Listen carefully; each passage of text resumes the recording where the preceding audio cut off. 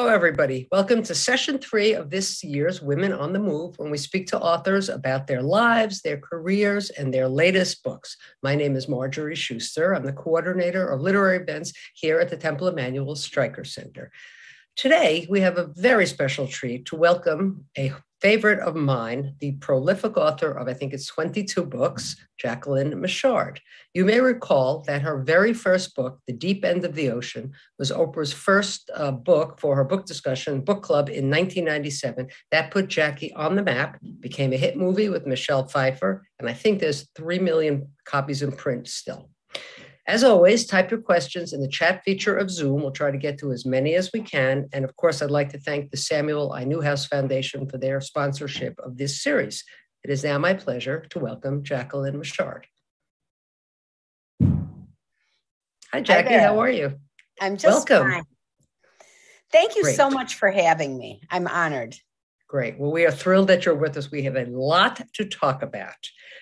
So, I am a big fan, as I told you a little while ago. I believe I've read almost all your books, and I could not wait to get my hands on this one. Oh, it's a little bit, the, the Good Son. So, let's dive right in. Please tell us a bit about this story and tell us about this world you've created. Well, created is a funny word in this mm. sense because this story was one of those ideas for books come from everywhere. They come from your own life, they come from the news. This one happened to be delivered to me in real life, and it's a story that largely happened in real life. I was at a big writers' conference and I was standing in line waiting for my coffee when the woman in front of me dropped her book. It was an Anita Dumont book. I noticed that. I picked it up and I handed it to her. And I said, Are you here for the writers' conference? And she said, No, I'm here because I come every weekend to visit my son who is in prison uh, nearby here. He'll be in prison for a very long time. And I thought, oh, don't tell me. Uh, but she did. She needed to, I think. Mm. Um, he had killed the only girl he ever loved, his sweetheart since the seventh grade. He was only 19 years old.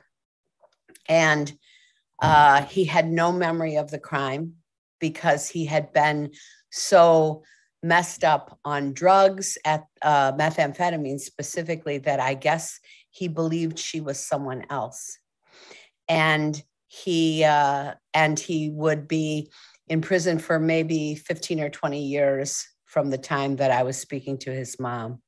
Mm. And she also said, and this in a different way, in a very different way, is also part of the novel that once she went to the cemetery to put roses on the girl's grave and the girl's mother showed up.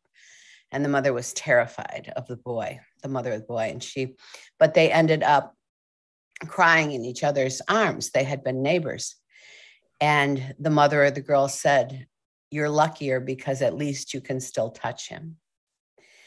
And her I I was running, they were introducing me to give this keynote speech. I was running up the aisle. That's how long I stayed with her. I could not bear to tear myself away. And when I told my agent, I'm going to write a novel about this, he had one word for that no. he said, that is very depressing and you could never make those people identifiable. But apparently, he doesn't he doesn't think that anymore. Apparently he was wrong. Do we have any idea if this did this woman ever get in touch with you? Do you think she read it or you don't know? I have no idea. I wish i knew where she was. I wish that i could uh, give the book to her because the power of being a writer it's like you can correct life. You can change life and you can make it different in the way that you hope that it will be. And uh, and so I wish that I could give her this vision of the story that she told me.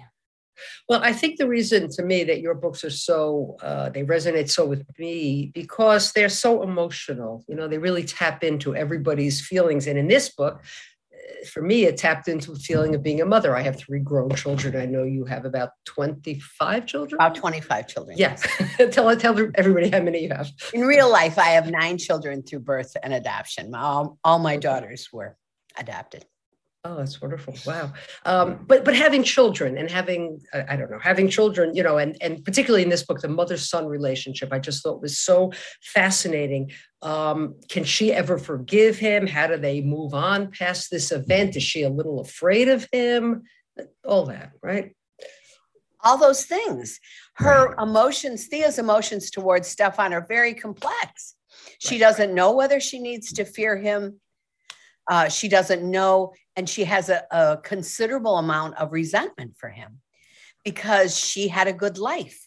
She and her husband were both college professors. He was a coach. And when this happened, it torpedoed their whole existence when um, he was convicted for the death of his sweetheart, Belinda, and a, a, crime of which he has, for which he has no memory uh, again because of drugs. And uh, it, the the Thea feels as though through no fault of her own, now the people who used to like her now shun her. Her own family isn't sure of her half the time, though they do come to they do come to embrace Stefan again when he gets out of prison and and are able to help him go forward to a certain degree. But she has lived and in this abyss she was just walking down the street and suddenly her life uh, imploded. Does she feel responsible? A- any mother course. might, right? Of course.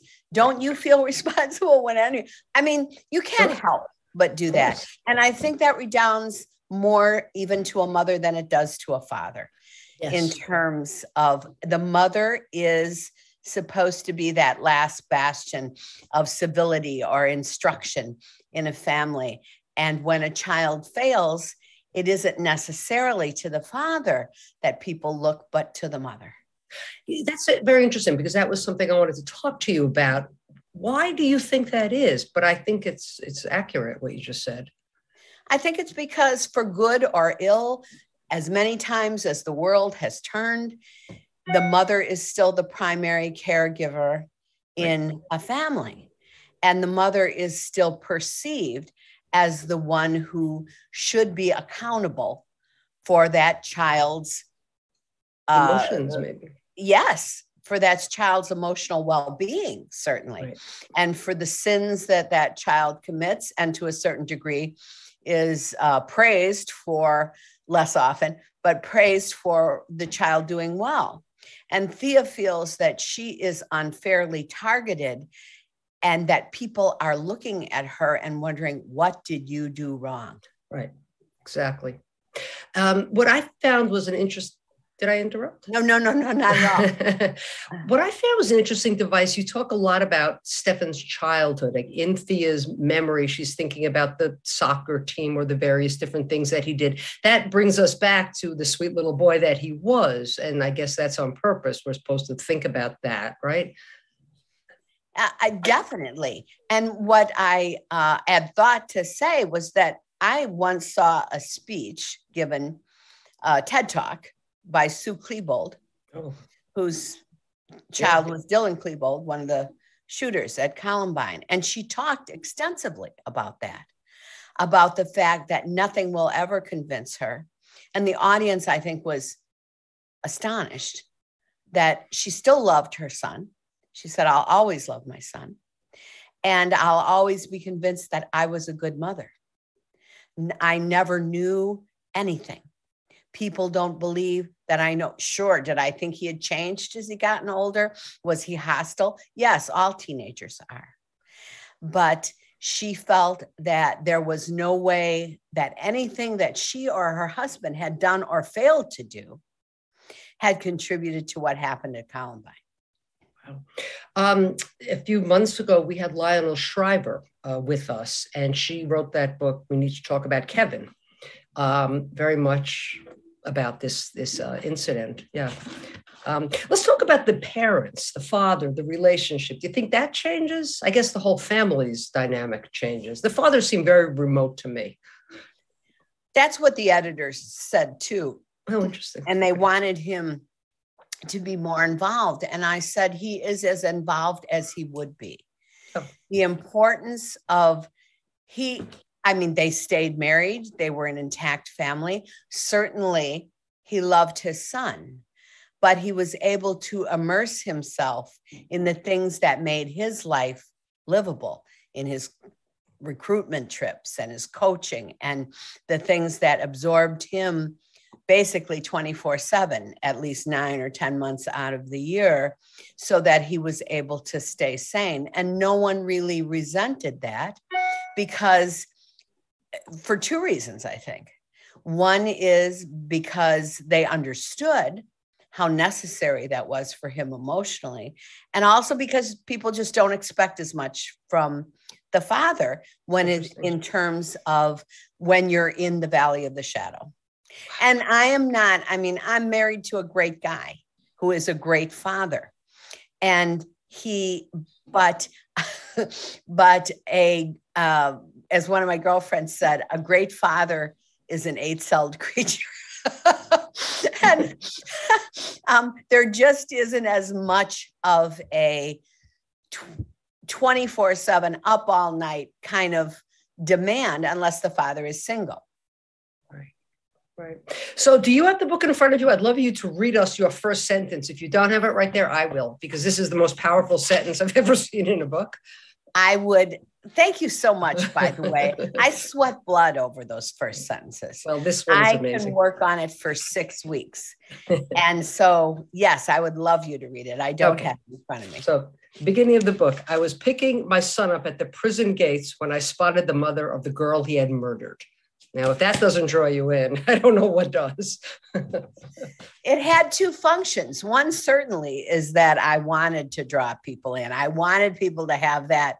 Yes, I I will stand in water six inches deep to read the rest of this book. That was one of the things I wanted people to feel.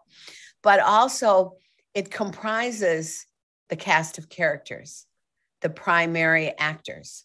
Okay. In that the other mother. Exactly in right. that whole drama. It really is the story of two mothers in right. a sense and their two children. So yes, it um, it I, I really think that within the first few pages, certainly within the first chapter, but maybe in the first 10 pages, you need to know all the questions. As a reader, you need to know all the questions that a book is going to raise. And in a sense, the rest of the book is answering those questions. You should be able to, uh, in a sense, though not, though not in the sense you would imagine, the book ends almost exactly where it began at another right. prison, but for reasons you would never imagine. Right. We certainly will not give any of that away. But I would like to talk about that other mother, and and you know there is some sympathy for her as there should be but she was a little crazy. Well, she was driven mad. Yes. I mean, she was driven mad by uh, by the crime, and you know, she lost the original title of this book was My Only, oh. and because both of those children, I still like that title. Mm. I want to say, um, but it, because both those children were their parents' only children, they were the whole tree and all the apples on the tree. They were everything to their parents. And when she lost her only, it was like she lost the sun in the sky. She had no reason to go on. She was a widow, and she uh, she felt as though her life had become dust and ash, as anyone does who loses a child. And Jill hadn't lost her child to an illness or an accident. She could look and see the reason why Belinda died. And so her life became devoted to, if you will, to vengeance. But also during the course of that vengeance, she drew attention through the organization she started, which was called SAY, Stop Abuse Young. She drew attention to dating violence, which is a huge issue. And at the it's at the level that domestic violence was generations ago where people just basically sort of ignored it or law enforcement ignored it that but what kind of treatment young women sometimes receive at the hands of their women in college or high school at the hands of their boyfriends. He was a little intense for a young uh, boy stefan the way he loved this girl so much at such a young age. It's a story about obsession. Oh, He was definitely obsessed with Belinda as as the mothers were obsessed with their children, as Thea became Thea was obsessed with helping Stefan start a new life after prison and then gradually as her questions she never even knew what happened that night. As her questions about the night Belinda died began to mount, she became obsessed with that too. So it's really a, a story about people who uh, who fasten into that part of their life in which they have um, the it's the awfulness also comprises the big lyric passage in their life, the most important thing that will ever happen to them for good or ill. Well, well, so that brings me to another point. I mean, should he be judged on the worst thing he ever did? This, I guess, he has to be, right? It's such a big question. Yeah. We're a culture who believes in second chances. Okay. If you're a president who, you Mm. know, steps out on his wife, or if you're something, something, um, should uh, the nature of what he did, it's very difficult to imagine there being a, a second chance for someone responsible for something like that. And yet we say that we believe that people can be changed, that they can start anew. Do we really believe that? I don't think so. I did a lot of research and I talked to a lot of people. And it's when people come out of prison after doing their time, after doing the time that was asked of them and doing it without incident, that they are most at risk of offending again, that they're most at risk of suicide or other kinds of terrible behavior because they're lost in the society that they return to. That culture doesn't, they can't go back to their own life, often because people who are in jail because of bad actions with other people, you can't go back to that crowd. But people who are like Stefan, he can't go back to that ordinary college kid, middle class life that he left behind either, because that life isn't having him. So did you know what was going to happen in this story when you started? I mean, did you did it change along the way? Do you outline it? How do you come up with this amazing thing? I always know. I always know almost exactly what the end is going to be, almost exactly the words of the end, eh, and what that's going to be as uh, I start into a story, as I start to write. I don't think I would. It would be possible for me to do this otherwise any more than it would be possible for me to like go to the airport and say, I just want an airline ticket instead of I want to go to San Diego and I want to get there by 10:30 tonight, Right. you know? It to me it's a very structured thing. Now, I am the only writer you know, maybe there's others. I'm sure there are others. Um, but I'm the only one that I know who really doesn't change much as I go along things change, a few things change, okay? But in a general way, it stays the course that I have plotted for it. And I think that's in part because I don't want to lose patience with this story. It takes me X number of months, nine, ten months, to write a draft of a story. And I know mm-hmm. I have many friends, it takes years and years Right. That for them to write a story because so many things change and they're uh, they're inspired by subplots and the main characters change and that would drive me nuts i don't think i could ever stay with anything for five years Most authors have told us that things change along the way, the characters evolve, etc. We haven't heard what you just described. well uh, to me my characters they're not real okay i can make them real to you and I can make them real enough to me that they make me cry. I believe in them. I imbue them with humanity. Oh yeah. But also they do what I tell them to do. If if I let them have their way, if they came alive to me, I'm sure my characters would just sit on the couch and eat Doritos and drink Pepsi. they wouldn't do anything to to urge the plot forward of my book. Well, I was very worried when that poor boy went to work for his uncle in the lumber yard. I didn't even want to see what was going to happen, but thank God you. Is that your phone? Oh, no. But thank God you didn't make it as bad as it could have been. That really, when he was in the lumber yard, I was very concerned about that. I knew I knew that something harrowing had to happen to him. And actually things that were harrowing happened to him over and over. But Yeah. none of them turned out to be, well, it depends on what you consider. You know, it, Well, no, to that me, if yeah. yeah, it was pretty bad. So, so tell us a little bit about about you, and tell us about everything else, and tell us a little bit about the first book that became an Oprah um, sensation. How did that all come to be? Well, in a very funny way. It's a funny story and it bears repeating, though I've said it before that there was no Oprah Winfrey Book Club. Okay. Right. and when uh when Oprah Winfrey called me to tell me that you know when in the in the at the end of the 90s the answering machine wasn't digital it had a little tape in it right right. so this is 20 more than 20 years ago and she left a message and it went on to the end of the tape you know like five minutes this is oprah winfrey and i have just loved the deep end of the ocean more than any book that i have read in the last 10 beep Oh, that's You know, terrific. and i I just hope you erased- saved it. Did i you just save it? i erased it Oh, boy.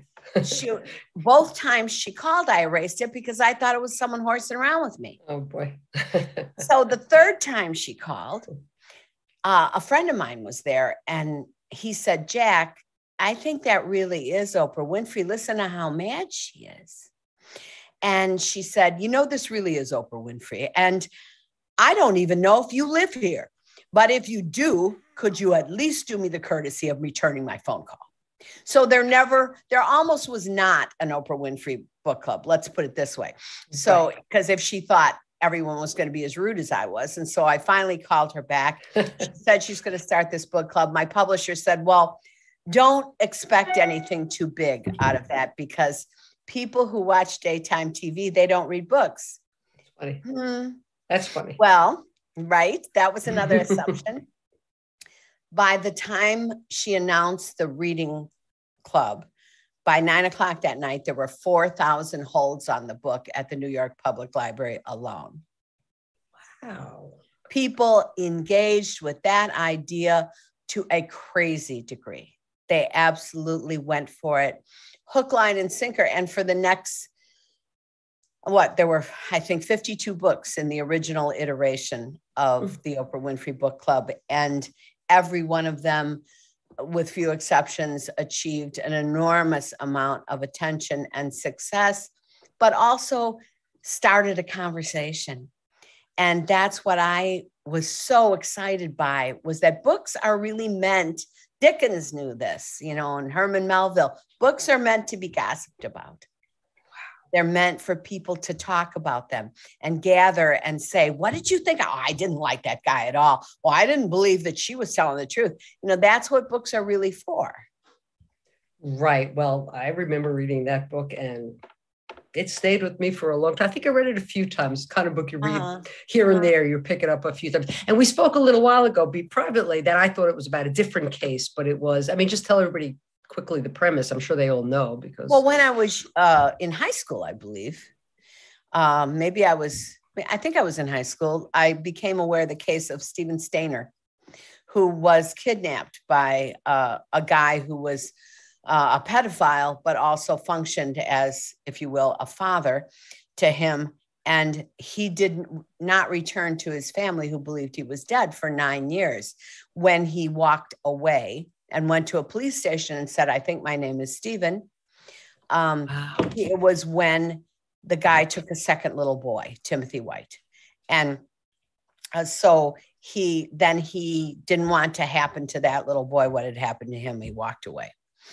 Uh, that was the inspiration for the story. Now, the real story, as we talked about, was much, much more horrible than the story that Right. Uh, you know, the deep end of the ocean was a difficult story, but the real story was much more horrible. The uh, kid, uh, Cary Stayner, was Steven Stayner's older brother, became um, a feral misfit uh, and killed uh, three women in Yosemite where he worked. and uh, and then Steven Stayner himself, at the age of 24, was killed in a motorcycle accident. His family only had him for a few years. He was happy. He was married, um, but he was leaving his job, and uh, a car hit him, and he died. Yeah, it's come back to me. Yeah. How do you come up with all of the ideas for your stories? I know that's a silly question, but it's not comment? a silly question. a little bit. I don't um I don't really I am not and you're going to say, "Oh, Jack, there." But this is true. I'm not creative. Oh, I'm not like a fantasy writer who creates a universe. I am not creative. I am someone who can adapt reality to make it new. But all of the stories that I write either came from the life of a friend or something I saw in the newspaper and researched or something someone told me almost entirely. And the book that I'm working on now, as a matter of fact, the book that I've just started uh, comes from something really, really, really goofy and almost unbelievable in my own life um, that happened to me. Can you tell us, or one sentence or not? Yes. I came home one day.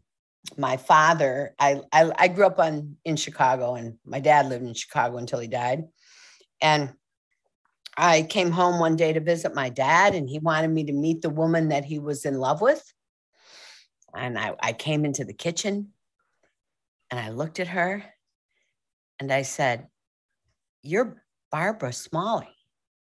She said, Yeah. And I said, We went to high school together. Oh, no. Oh, yeah. and that, so, okay, your reaction is just the reaction that I wanted you to Great. have. It's about a woman. This gives nothing away because you find this out in the first few pages that a woman is coming home to her home on Cape Cod to tell her father that she's going to have a baby and she's getting married. She's an underwater photographer, never expected to settle down. And he surprises her instead by telling her that he's marrying her best friend. Yeah. and that's just the beginning. I look forward to that one as well. Yeah, these kind of stories interest me. They do. that's that's great. Well, let's bring it back to have you ever had a friend like that? Well, this Jill, they had they loved each other and maybe hated each other or afraid of each other. Is that based on anything that you know um, about? not not really. I mean, the uh the the character of Jill was made up of a number of different people who I knew, uh, who who I have known over time, but in a general way, I created her to be a symbol of a suffering mother. I created her to be a symbol of someone who was denied justice but then I wanted to make her human. And so, what I often do in stories, and I bet other writers will tell you this, is that if someone has an unattractive personality, I try to make that person an extremely attractive person physically. I want uh, Some, people, yeah, I want complexity. And, and, I want a redeeming people, feature, maybe. Yeah. And I want people to be um, I don't want people to, the characters to be what you would expect. I want everyone to be unexpected in a story that I create well, I'm not going to tell you this in public, but I have, I have a good idea for a story for you. I think it's something you could. Not, that would be great. Maybe that later. would be great. Now watch. See, I'll end up writing it. okay, I'll take a little cut. That's it. Okay. Okay. that, that's funny. So tell us a little bit about your life. I mean, you've got a wide range of children. Nothing too personal, but just tell us. You've got big children, little children. I have big children, little children. I have really little grandchildren. Uh, nice. One of whom is only uh, just newly hatched. She's uh, Diana is just a little bitty baby uh, who was born a couple weeks ago. Wow. And uh, I I have children in their 30s. I have children who are still in high school. I was married twice.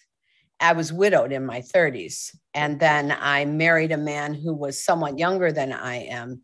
He's still younger than I am, but you can't tell anymore. Um, because he's he's aged a lot from being married to me and from helping to raise our family. But he also wanted to have a family, and I didn't feel that I could say to him, "Oh, okay, well, you have to raise my kids, but we aren't going to do any more of this." And then, as as my husband would say, our family is a date that just got out of hand. Um, but our but I will say that our children have been um, with with no exceptions, and I'm knocking on the um, uh, on my wooden counter here now. They have turned out well, and more than anything else, they like each other.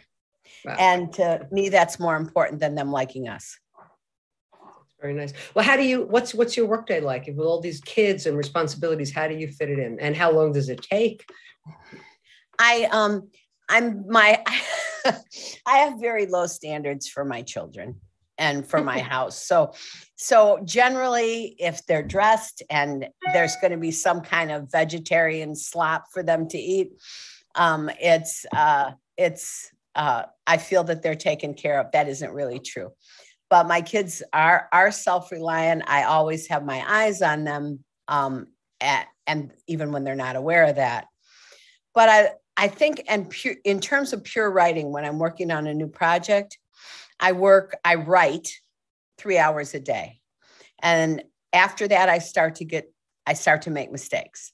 And I can't bring the same energy when I'm writing something new. I can't bring the same energy to it after the third hour. So then I'll do other things during the day. I'll do editing uh, on an editing project that I'm working on for someone else or I'll uh, do something to prepare for a lecture that I'm giving. But the pure writing part, usually only about three hours and probably three or four days a week. So, how long did it take you to write? How long does it take you to write a book? Um, mm, about nine or 10 months to finish a draft, and maybe a little more, sometimes a little less. Um, but that's a general. Uh, so, I would say that from the beginning from the inception of the idea until the absolute finished book ready to be published with everything edited and all the periods and commas in the right place about 18 months. Wow interesting. Um, so a few things. You've written i think it's well ya 20, 23 books now that's yeah. what i thought. So a couple of questions on that. So is it harder, easier to write adult books, YA books? Is there a different process? How, how does that work? Well, YA books, books for teenagers take place in a very um, discrete time period because okay. that's the way teenagers live. For them, a one, they say, you say, have you been dating for a long time? Yeah, a long time, like six months, you know. so that is an era. Six months is an era if you're a teenager. And that makes sense because you become a different person. You physically become a different person with different cells after a six month period. Um, so their concerns are different. Their concerns are not global in the way adults are. The concerns are right in front of them. Right. And I don't I don't write as much young adult fiction anymore. I think I did and said what I had to say, though I have one more idea that I'm really uh, thinking about often. But right now, I'm concentrating on writing for adults. And there is so much more mayhem that, I mean, the mayhem sure. you get into with teenagers, uh, certainly there's drugs and sex and alienation and even death but there's all kinds of emotional mayhem you can get into with adults too and the circumstances in which i put my characters which are absolutely merciless. Yeah. So how, do, how you have a lot of longevity. How does it how do you maintain that success? Uh, i don't know whether i can maintain the success. I know that i i can maintain my excitement uh, about a story. At first i think the first thing I think when I finish a book is that's it. Never going to be able, I'm going to make pasta sauce for a living now because that's the thing that I know I'm really good at. And I, uh, I'm never going to have another idea for a book. And then one starts to creep up on me. It's like having an affair. First, you're just talking to the person on the phone, and then you're meeting down at the mailbox, and then you're sitting in the same car, and pretty soon you're in love with someone else, and you thought you would never love again. That's interesting. Do you think it's harder to start out today, or was it easier 25 years ago with your first book? I don't have any idea. Oh, I don't yeah. have, I know that there were fewer books published and there were so many, the whole idea of self publishing, of making your own uh, book and designing the cover and then selling it yourself and doing this marketing plan and distribution, that was unheard of. If you got uh, the an independent book was a book published by an independent publisher like Graywolf or something like that. Now, independent publishing means you're publishing your own book. So there are so many more factors that go into it. I would never want to be responsible in that way for a for pu- all the steps that go into publishing. That would make me nuts. I could not I don't think I could the business side of things still confuses me. and uh and it's not because I'm a creative type or anything like that. It's because numbers confuse me. And and I I guess I have math affect, but I when people say, "Oh, this is doing well," you know, I I don't even want to know. I I don't even want to know how well it's doing. Um, You don't look at the bestseller list over there? oh no, no, Okay. no, no, no. I one thing I do do is I read all my negative reviews though. ah, really? Not necessarily the positive ones because I know what in a general way what I did right. Interesting. But I always find out uh, something useful from reading a negative review, something that I won't do wrong the next time. can you just So share an about idea? What? Ca- Can you just share a sentence of a negative review? What someone has ever? Can you think of one? Um, that she put too much of a certain character in Oh, okay. till the point where it got boring. Okay. Interesting. or it, this part uh, one that was really very interesting to me and this was a criticism not of this book but of a, another book was that the two parts of the book did not seem to be entire to, one didn't flow from the other Oh, interesting. and i on reflection looking back i agree with that Oh, well, that's so you can use that piece of Yes. advice. That's good. yes Yeah. Well, were there any characters you could have added to this book? Anybody you left out? Anybody you thought might be in it? No No. i i like to have a relatively small cast okay. people can walk on and walk out. But to, what I believe is that every character who has a big part in a story has to go through the whole cycle uh, in the in the narrative of change because Okay. everybody in a book changes. Everyone in a book, my great friend Karin Slaughter says, every character in a book has a, a secret. And I believe everybody has a destiny as well. Hmm. So that if I'm going to include a character other than someone who comes and brings a letter, you know, and s- uh, or something, Right. uh, or sells someone a dress or that sort of thing, uh, they're going to have to discover something about themselves and go through the whole cycle of evolution as a character. I always like to ask authors who you read, who do you particularly admire? Uh, oh, I everybody.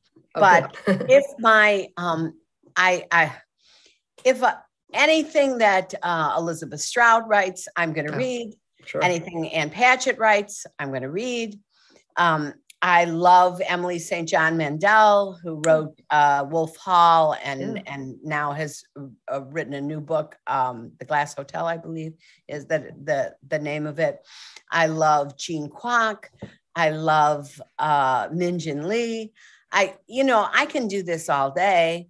I, um, I, and also classic authors that there's a book that I read every time I write a book, the same what book. It's what is called that? The Tree Grows in Brooklyn. Oh, of course. By we talked Betty about that last week. Great. That is my favorite book.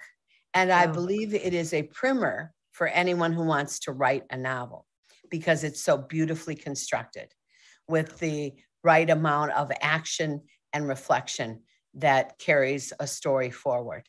Hmm. And so I hope that I'm keeping my eyes on that book as I go forward and hoping to imbue my characters with the same level of reality and uh, endurance that uh, her that Francie Nolan had. And I love that book so much. My firstborn daughter is named Francie Nolan. Oh, that's fabulous. Well, we have a bunch of questions that came in. So let's start at some. a bunch of answers. Good. Well, here is a good one. Uh, but let me just, sorry. Carol would like to know Has this book been optioned for a film? It should uh, be. Not yet, but there's certainly, well, I'm not going to say that now because it'll just, you know, bring bad luck. But um, but I would, from your mouth to God's ears, I hope that that happens. And if if um, all my colleagues, all my other writer friends say, "Oh, I would never want Hollywood to get their hands," but they're lying. they're lying. well, tell us. Of course, they would want that to happen. How did it go when the Deep End of the Ocean was made into a film? It was like one long song. It was the best fun. I went out there just for a couple of days, horsed around. It was a great time. Michelle Pfeiffer was an absolute doll baby, really sweet to me and to my son Dan, uh, who was with me, who was, I think, 12 at the time and is now 32. Um, we and we had a wonderful time. Everyone was great, and the whole process was great. There was not. I I'm not as once a book is finished for me, it has to go out and earn its living in the world.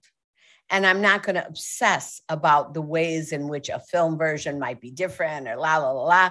It, it just doesn't mean anything to me. Do, do you see anybody in the roles? I, I have found I, I know oh, who I'd like to see in this. Well, you tell me. I well, don't. I'd like to I'd like to see Meryl Streep. Oh. And the son, and I was trying to think of his name. He's the tall young man, blondish. Um, he's been in many, many films, and I actually can't think of his name. He was in Manchester by the Sea, that young man. Um, Oh my goodness. Yeah. Oh, uh, Ryan Gosling? No. No, no, I'm talking about the boy. I will think of it. The boy. Yes. The boy. Oh, I know who you mean now. It's not Timothée Chalamet, it's the other guy. That would work also, Timothée Chalamet. Um, oh, actually, he might be a second good choice. I actually saw him two days Casey ago Affleck, on the street. Somebody said Lucas. Well, he's Hedges. a little bit too. No, he's too Lucas old. Hedges. yeah. Yeah. Casey. Lucas. Lucas Hedges. That's what I'm thinking. Right. Yes. I I even see him looking like Meryl Streep. I think that would be a very good combination. Ah. Yeah. and um and though yes, it's the point is made in the book that though they are Greek, they're fair. Right. To these people. Right. So Susan would like to know: Is there one of you, any of your books that you hold especially close to your heart? There is, and it's a young adult book called All We Know of Heaven, that also was based on a real incident in which I don't know why I care so much about this book, but I enormously cared about the incident in which two young women, best friends, were in a horrifying car wreck. So much so, one of them was killed, the other survived, but they were both so badly damaged that the doctors did not, uh, doctors believed the other girl survived. So it was oh, weeks right. before their parents knew Oh, yeah. that it they had Right. buried the other girl, uh, thinking it was she. I did read that book. That was Yeah. Um, so that one, that one means a great deal to me. They all mean a great deal to me in different ways, except for one of them. And I'm not going to say which one, but I would like to put a stake through its heart. wow. I never want anyone, I'm not going to mention it because people might read it and oh, judge oh, me. and buy it. Mm. well, I have two questions one from an Eleanor and one from a Sherry, and they're both kind of the same. Did I hear she has five adopted daughters in addition to three sons? But wait, it's a two parter. And Sherry says, amazed by her personal life. How many kids does she have if that's not too personal? She seems like an incredible superwoman. And how do these children of all varied ages feel about her novels? Well, I will, I can answer the last part first. Only one of my kids has ever read a book that I wrote. Oh, my. one and one book. It's got to be okay. a girl. One book. It is a girl. Sure. It's one of my older daughters. I have four daughters and five sons. All four of my daughters were adopted. Um, and one of them has read one of my books. Now, I would say, I, I want to point out to you that I have offered my children money to read one of my books. I'm up to $125 now if they'll just read one book. No takers. And I think it's because they think if Jackie is doing this, this is going to be so boring. I don't need the money. You know, I'm just going to, I, you know, and I'm not going to lie to her. So I'll just pass that by. Thanks, mom. Um, they funny. are not fascinated by my career at all, except if someone famous would call on the phone. Oh, wow. That's okay. the only the only time that they would be um, fascinated, or or one of my friends who's a famous writer. Then they're fascinated by that, and they want sure. to get Lisa Genova's uh, oh, sign okay. a book or something like that. Um, and so that's how they feel about my work. They would be more fascinated if I worked at a like at a Snackwell factory and could bring home Snackwells. So, um, you yeah, good sense of humor. yeah, and um, and uh, uh, as far as them growing up, I have believed like is it Lenore Skenazy who who coined the term free range children? Yeah that is what my children are like. Really? They don't know that the fence is there. I mean, they think that they're doing exactly what they want to do. But you're watching. They don't, yeah, but I'm watching. You know, I'm always there. But the um, but they don't aren't aware of the fence until they come up against it. Wow. Well, I've said this every time I interview someone, it seems to come up, but I um, have offered my daughter money starting when she was 16 years old to read my favorite book. And now we're up to a couple of hundred dollars and she still hasn't. Hey, what it. is the book? It's Marjorie Morningstar. I've said that a few times oh, already. oh, oh, you know, and you, you'd think they would want to do that for nothing to share something with their mother. I had to, I wanted my kids to watch the, I made them during the pandemic. I selected two books for them to read. And one of them was Station 11 by uh, Hilary St. John Mandel. Yeah and uh, and now I want them to gather together for one hour a week and watch the mini series made from that book oh, on HBO, which is even better than the book. You would think that I asked them to have a little strychnine on their pizza. and so but finally yeah. i get them in there and i go okay you know? Um and I, I i say to them sorry to distract you from meaningless anime meaningless death obsessed anime for half an hour but um but in general they are they are a delight. They're a delight. They're engaging. They're combative. Um, they're smart well, maybe you'll have better better luck with your babies as they as they grow up. yes, yes, I have to start them early. So this question you can or you don't have to answer. We could just pass right by. Will you be writing a book about a hometown boy posing as an investment counselor? Apparently, there's something. That's how I lost all my money. Yeah. Um, and, and that's what she's referring to. And no, I'll never write about that because, first of all, it's really boring to write uh, uh, the, about your own problems and the fact that you you know, imagine how much some sympathy there would be for a story about someone who lost millions of dollars.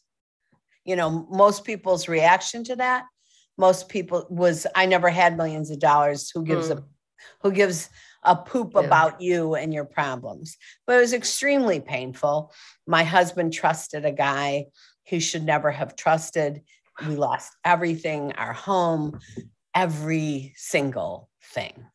Um, and uh, and had nothing left. We had enough to rent a u-haul and move away. And so and that happened not that long nine years ago almost nine years ago.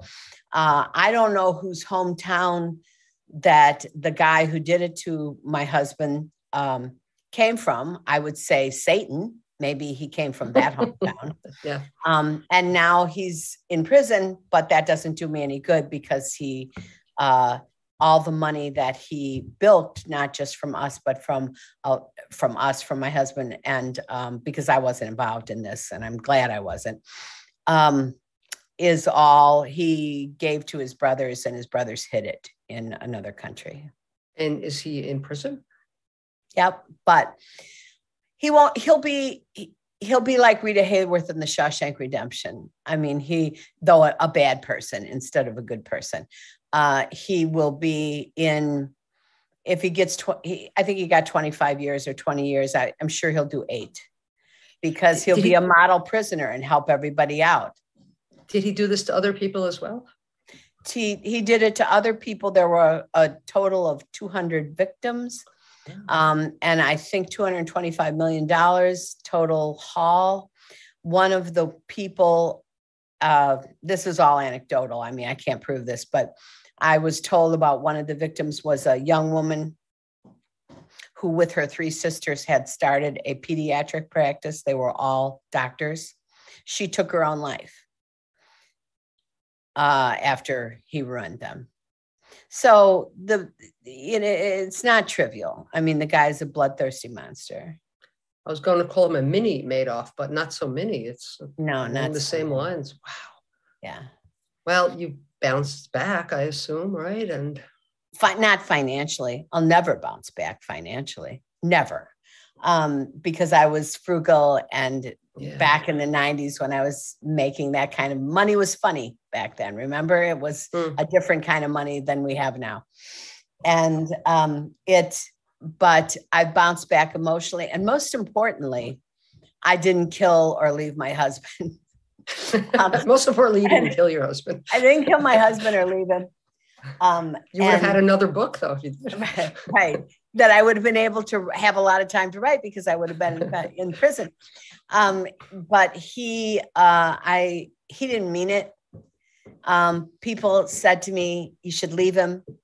I said, "There's no financial advantage in me leaving him." and my kids would be part of a broken family then. He's a good person uh, and you know he loves them dearly and uh, and now I love him dearly too, and I'm glad that we were able to go forward. Wow, good. Well, I'm sorry. um, somebody wanted to know a little bit about prison language, how you knew so much about it. Partly from reading, but also I interviewed two mothers who had uh, kids in prison of that age, two boys who were in prison. One of, and she described uh, one of the, they described it to me this way. One said her son was a good son, but not a good boy, and that it was almost his destiny to go to prison and almost seen among his friends as a badge of honor.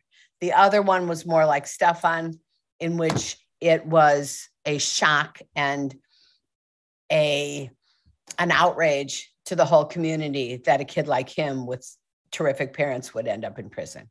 So I interviewed those people about their experiences with their sons being in prison. And also, I was a newspaper reporter 100 oh, years before. ago. Right. And I had been to prison a number of times, not as an offender. But believe you me, yeah. when you go into one of those places and that door shuts behind you, you just can't believe that you're ever going to leave. And the thing about prison that is the most amazing is what I had the character Stefan say about it. It's not the loss of freedom, it's the loss of privacy. The fact that you never are alone and people cry and scream and talk and yell and sing all day and all night. And they don't put the lights dark. out. I it's learned that from your I yeah. learned that from your book. I didn't know that. They dim the lights, but most yeah. places they don't really put the lights out. So you're never really alone, even in your own skin. And so that must be a torment. Wow. Uh, well, there's one or two more interesting comments. Jean, like said, she disagrees with your premise, sorry, that the mother's role is more important in raising children. You spoke about the importance of your husband. Uh, what do you think of her comments? She, well, she's asking. No, I I don't think it's. Listen, if um, if every father was as involved as my husband has been to the degree that he has been, or some others, what I said was, and maybe I didn't state this clearly, it is more, it is considered that the mother is more of a functioning uh, force in a child's life than the father. Our culture considers the mother more influential in the raising of a child than the father, whether or not that is true. And therefore, the blame or the credit, often the blame, for what happens to the child is often laid at the um, at the feet of the mother more than the father. And I believe that that's true. It's just a belief. I can't prove that statistically. I can prove statistically that mothers are more involved in the child rearing process, uh, particularly when the child is little, but also going forward throughout the child's life than many fathers. It's just uh, a fact, you know, that when marriages break up, for example, it's very often not the father who has custody or the responsibility of raising the child, but the mother. That's the way, I guess that's the way human life works, or even wolf life. I'm reading a uh, book about someone who is a wolf researcher right now. Well, um, first of all, I agree with everything you're saying. I, I, do agree. A couple of more questions. Well, first of all, somebody would like you to repeat which is your favorite book, and it's uh, A Tree, Tree grows. grows in Brooklyn. Correct. is my favorite book. and I think it's just mm-hmm. a wonderful book. Everyone should read it, but everyone, especially who wants to write or thinks about writing, should read that story. I have lots and lots of favorite books, both old and new, uh, that I that I can that I read more than once. But that one stands alone. And I'm not the only writer. There's another book that is a book that I think is tremendously influential in my life, and it's the book True Grit by Charles Portis. The book, not the movie. Yeah. Um, it taught me everything about a character's voice. Were you a so, reader? Sorry. What? Were you a reader growing up? Oh yeah. yeah. yeah. I mean, anybody who Oprah Winfrey will say the same thing. Anybody who comes from a family in which the parents are sort of at each other's throat or or not around some of the time that you there you will find a reader books are a refuge interesting. But i wonder if it's changed for this uh, upcoming generation with um, the phones and the games. It most definitely must have changed. There are still readers and lots of teen readers and and adult readers but the competing media the fact that people are always looking at their phones. If you look at pictures of a wedding, of people at the table, at the dinner, they're all looking right. at their phones. Right. What the heck are they doing? They're at a wedding. Right. You know, what are they looking at? A circus or their Facebook page? It it it uh, social media has many wonderful uses. I don't think it should be like outlawed or anything. I think it's entertaining and in some ways sustaining, particularly when people are alone. But it also has, it casts a spell, and the spell can be a toxic spell. Well, I agree with you. I was always a reader as a child, and my favorite place to be was a library, and it's pretty much still my favorite place to be, and uh, surrounded by books. Um, and I guess we'll end with this very important question. Sybil would like to know when did you know you were a writer? Well, it was a long time after everyone else did. it's true. I uh, I majored in biology. I thought that first I thought I would be a doctor, but I was undone by calculus. And then I would thought I would be some kind of researcher. I still love science. I'm just enthralled by it and every part of it and um, but people kept saying, you know what you should do? You're really a good writer. Ah. And uh, I became a medical reporter uh, right out of college and did that for ages. And then, actually, my first husband, who died very young, I was widowed when I was very young, um, uh, would say to me, "You should write a novel. You should write a novel." And right at the at the moment of his death, within days, I started the deep end of the ocean. I guess that was a bit of a salvation for you in some it ways. was. Right? It was to try to yeah. do something impossible. That was my goal to try to do something that I thought I couldn't do to prove to myself and my children that there was life after death. Right? Inspiring. And how did you then get an agent and a etc. Get it published. I um I knew a woman who had an agent. That's how most people find. Uh, they have a friend or a first cousin or something like that who has an agent, regardless of what it's for. I knew a friend who had an agent.